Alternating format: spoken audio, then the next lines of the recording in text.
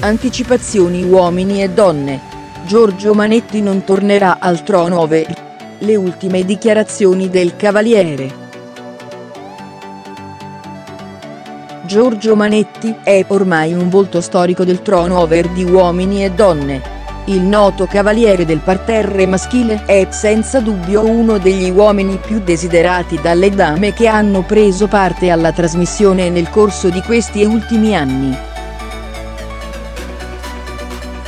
In ogni caso, l'unica vera relazione d'amore che il Gabbiano si è sentito di portare avanti per un lungo periodo è stata quella con Gemma Galgani. La donna di Torino pare sia riuscita a stregare Gabbiano con la sua eleganza, il suo corpo, e la sua cultura, nonostante sia sempre stato molto schietto e sincero. In questi ultimi mesi il pubblico del programma di Maria De Filippi ha iniziato a non vedere di buoni occhi gli atteggiamenti del signore di Firenze.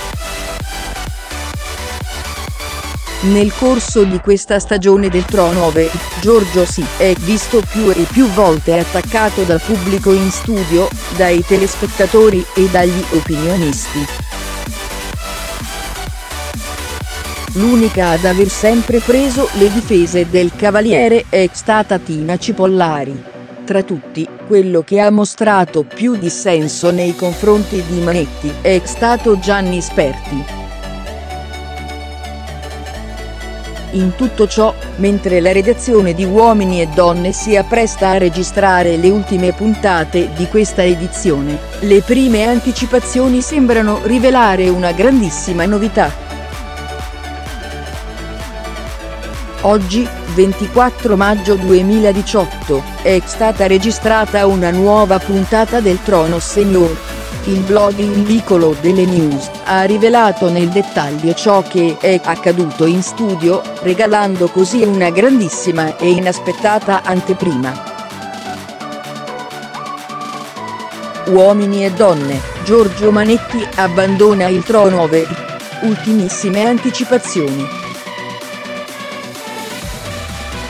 La talpa del vicolo delle news presente in studio nel corso della nuova registrazione del Trono ha rivelato un succulento particolare su Manetti.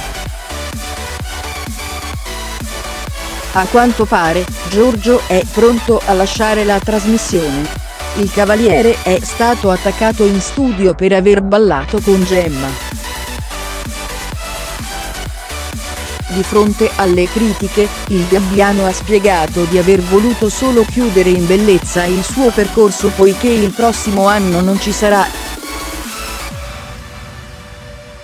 In ogni caso, mai dire mai, staremo a vedere,